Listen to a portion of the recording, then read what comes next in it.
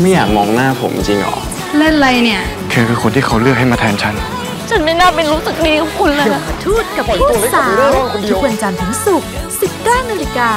ดูทีวีกด 33 ดูมือถือกด3 plus